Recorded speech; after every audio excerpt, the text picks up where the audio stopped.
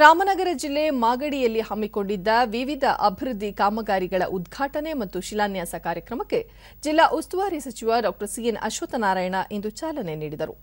ಶಾಸಕ ಮಂಜುನಾಥ್, ಆರೋಗ್ಯ ಇಲಾಖೆ ಅಧಿಕಾರಿಗಳು ಸೇರಿದಂತೆ ಮತ್ತಿತರರು ಉಪಸ್ಥಿತರಿದ್ದರು.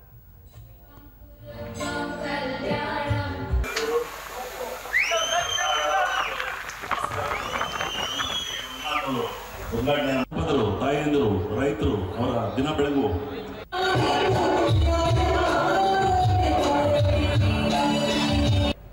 ಬಳಿಕ ಅಶ್ವತ್ಥನಾರಾಯಣ್, ಗ್ರಾಮೀಣ ಜನರಿಗೆ ಅವರಿದ್ದಲ್ಲಿಯೇ ಚಿಕಿತ್ಸೆಗಳು ಉಚಿತವಾಗಿ ಸಿಗಬೇಕು ಎನ್ನುವುದು ಬಿಜೆಪಿ ಸರ್ಕಾರದ ಸಂಕಲ್ಪವಾಗಿದೆ. ಹೀಗಾಗಿ ದಿನದ ಇಪ್ಪತ್ನಾಲ್ಕು ಗಂಟೆಗಳ ಕಾಲ ಕಾರ್ಯನಿರ್ವಹಿಸುವ ಹೆರಿಗೆ ವಾರ್ಡ್ ಶಸ್ತ್ರಚಿಕಿತ್ಸಾ ಕೊಠಡಿ, ದಂತ ಪರೀಕ್ಷೆ, ಎಕ್ಸ್ರೇ, ತುರ್ತು ಚಿಕಿತ್ಸಾ ಘಟಕ ಇರುವಂತೆ ನೋಡಿಕೊಳ್ಳಲಾಗಿದೆ ಎಂದು ಹೇಳಿದರು. ಮಾಗಡಿಯ ಪ್ರಾಥಮಿಕ ಆರೋಗ್ಯ ಕೇಂದ್ರದಲ್ಲಿ ಸ್ಮಾರ್ಟ್ ಕ್ಲಿನಿಕ್ ವ್ಯವಸ್ಥೆ ಇದೆ. ಈ ಸೌಲಭ್ಯ ಹೊಂದಿರುವ ರಾಜ್ಯದ ಏಕೈಕ ಕೇಂದ್ರವಾಗಿದೆ. ತಜ್ಞ ವೈದ್ಯರು ಮತ್ತು ರೋಗಿಗಳ ನಡುವೆ ನೇರ ಸಂಪರ್ಕ ಇಲ್ಲದಿದ್ದರೂ ಆನ್ಲೈನ್ ಮೂಲಕ ಇದು ಕಾರ್ಯನಿರ್ವಹಿಸಲಿದೆ. ಈ ಆಸ್ಪತ್ರೆ ಸಂಪೂರ್ಣವಾಗಿ ಡಿಜಿಟಲೀಕರಣ ಮಾಡಲಾಗಿದೆ ಎಂದರು.